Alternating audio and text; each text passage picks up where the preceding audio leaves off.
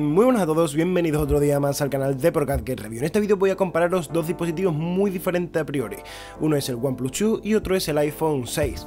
Todo puede, todo puede parecer en una primera impresión que son dispositivos que no tienen nada que ver. El iPhone 6 salió hace un año, el OnePlus 2 acaba de salir hace bastante poco. Pero bueno, la verdad es que pienso que puede ser bastante interesante comparar un dispositivo de Apple que eh, salió hace un año con lo nuevo y más económico que ha presentado una marca que pues aspira tanto como eh, OnePlus. Así que quiero ver eh, si realmente los dispositivos valen lo que valen, si las cámaras pues han evolucionado en Android un año más adelante, aunque el dispositivo pues valga la mitad. Y realmente, en mi opinión, los he estado probando los dos durante bastante tiempo y con cuál me quedaría. Para empezar quiero comentar dos cosas. No quiero hacer esta review eh, demasiado técnica, comentando lo que son. Pues mira, este tiene no sé cuántos píxeles. Eh, entrar en demasiados detalles que realmente no lleven a nada. Quiero comentar cuáles son mis opiniones y qué es lo que me ha parecido dar una opinión personal yo de, usuario. También quiero comentar que, pues bueno, agradecer a GRBest que me ha proporcionado este OnePlus, que tenéis el enlace en la descripción por si queréis echarle un vistazo y si os eh, gusta, pues comprarlo ahí. Y luego también agradecer a BetSuite, una página de apuestas que tenéis más información con la que podéis ganar eh, teléfonos eh, como este. Os dejo toda la información abajo en la, descripción. Así que vamos a comenzar con, el, con esta comparación. Pues bueno, para empezar vamos a hacer un poco de diseño, ¿no? Lo que son los dispositivos que son bastante diferentes. En el iPhone 6 tenemos una pantalla de 4,7 pulgadas y en el OnePlus 2 5,5 eh, pulgadas. Los dos tienen una pantalla IPS, sí que hay que decir que, pues por ejemplo, en el OnePlus 2 tiene más píxeles por pulgada. tiene 401 contra 300 326 píxeles por pulgada. Ya me estoy metiendo en demasiados detalles, pero tengo que comentaros que me gusta mucho más la, pantalla del, del, iPhone 6.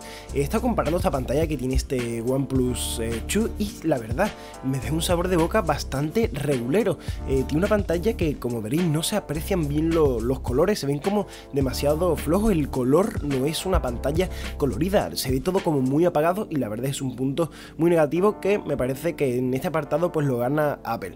Eh, yendo más al diseño, como veréis eh, son teléfonos que bueno, uno pesa 120, alrededor de 120 gramos y otro se va hasta los 180.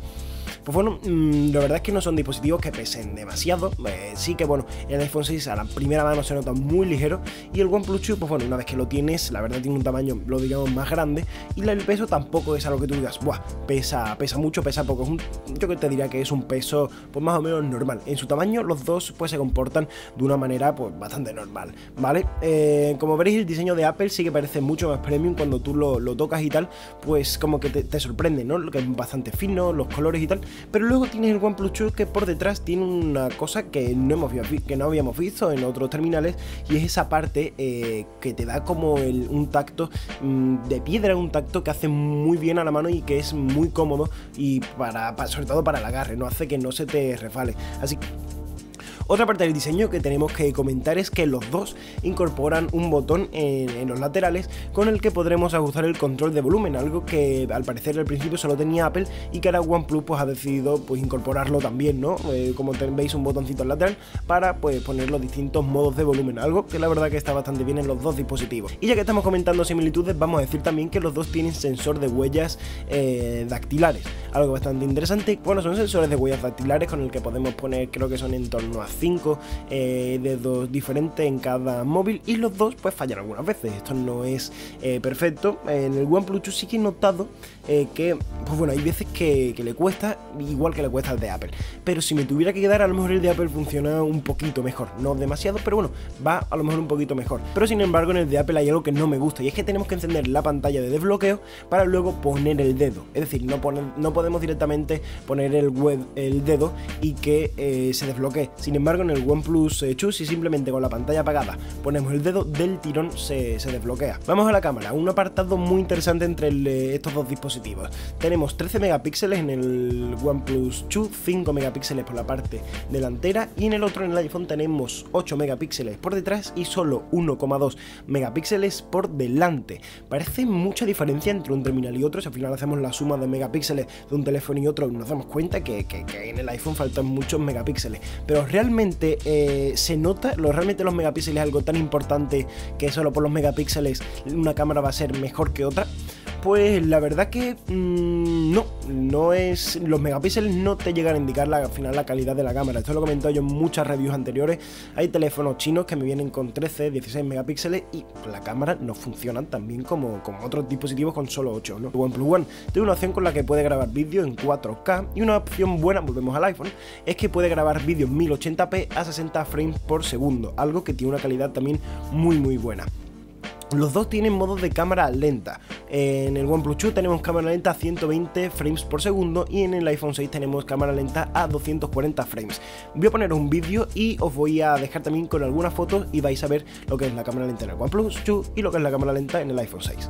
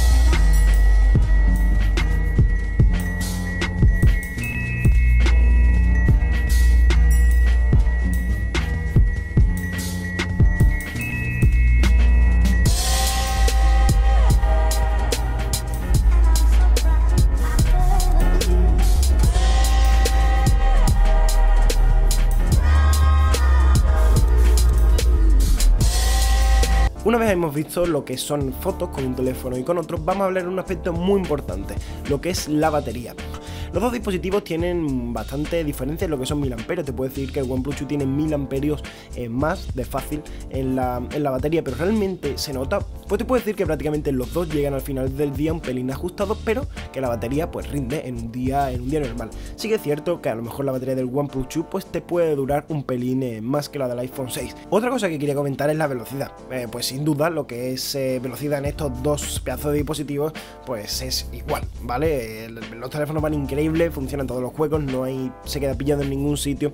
Sí que hay una cosa que comentar, y son lo que es a nivel de software. Sí que es cierto que el OnePlus 2 incorpora la última versión hasta el momento, ya se actualizará próximamente a 6.0 cuando la lancen, que será dentro de poco, y el iPhone sí que utiliza la última versión de iOS y se seguirá actualizando. Pero eh, la OnePlus ha puesto una personalización en este OnePlus 2 que mm, regulera de momento. Estamos esperando a que lo sigan actualizando, ya lo han actualizado un par de veces, pero sí que se nota que tiene algún bug que se queda un poco pillado, que no es por problema prácticamente de lo que es el sistema, de lo que es el procesador y tal, no es que no da abasto, es que pues hay que seguir puliendo lo que es el sistema operativo que trae este OnePlus 2. Y si hay otra cosa que quiero comentar que me ha gustado, o sea que no me ha gustado mucho de este OnePlus 2 es que se calienta y como te pongas a jugar se calienta y un poquito, ¿eh? Vamos a pasar a otra parte, lo que es el, lo que es el audio. Tienen estos dos dispositivos un audio increíble. Voy a hacer una prueba ahora mismo de lo que es audio en un dispositivo y en otro y vais a ver cómo se escucha de una manera, sinceramente, espectacular. Vamos primero a escuchar el iPhone y vamos a ver cómo lo escucháis vosotros.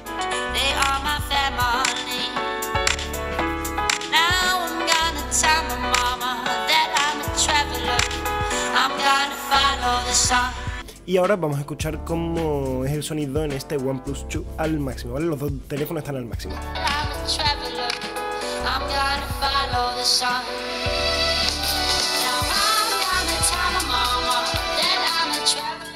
Vamos a hacer ahora mismo una revisión general de lo que son dos dispositivos, de lo que es un Android de hace nada, de lo que es el flagship, o la marca dice de este 2016, y un iPhone de hace un año. Vamos a empezar comentando el precio.